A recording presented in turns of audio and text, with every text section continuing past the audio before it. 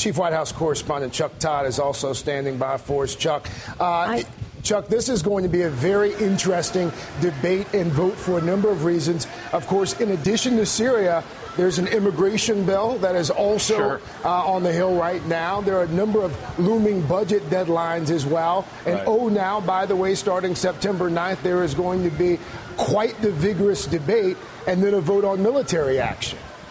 Well, there, to me, there were two extraordinary uh, aspects of the president's uh, remarks there. One, and they and behind the scenes they'd been dealing with this problem for quite for all week, which was what is the hurry? And they could never come up with a rationale publicly to satisfy whether it was Ban Ki-moon or uh, at the UN or whether it was a member of Congress of why did the strikes have to happen now? What's with the rush to do this now? Why can't it wait? Well, what did the president just go out there and say? You know what? We're not in a hurry. We can wait. This can take place over the next month. The other extraordinary aspect is, uh, Craig, in the last 30 years, essentially since you could go back a little bit to Dick Cheney uh, when he was chief of staff for Ford, but really starting in 1980, every president from Reagan on had been going about trying to strengthen the powers of the executive branch, little by little, and Congress over time had sort of allowed it to happen.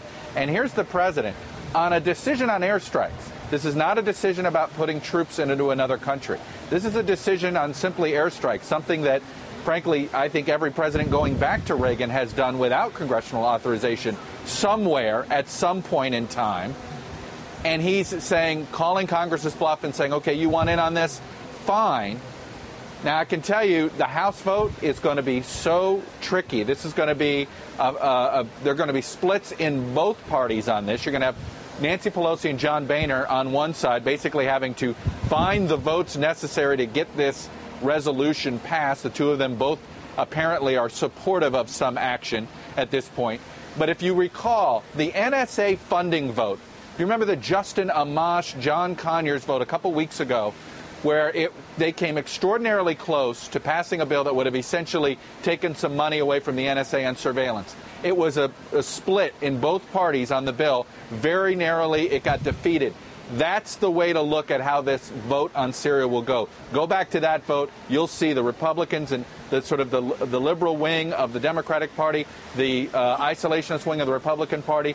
They were on the losing side, but boy, did they come close. They got some 200 plus votes. And Chuck, it would also seem to me that this is not just going to be a vote on military action in Syria. This is, in a lot of ways, going to be a vote on America's role in the world moving forward, no? That's right. Should America play the world's police officer, right? Are we the ones in charge of deciding when an international law is broken, like uh, Assad did with these chemical weapons? Is it, if, if, since there's no other country that is willing to step up, is this the role of the United States? It's the role the United States believes has been playing uh, for some 60 years. Uh, the question now is eh, there does seem to be this war fatigue because of Iraq. 20 years ago, it was because of Vietnam. But is that going to uh, make this Congress very hesitant?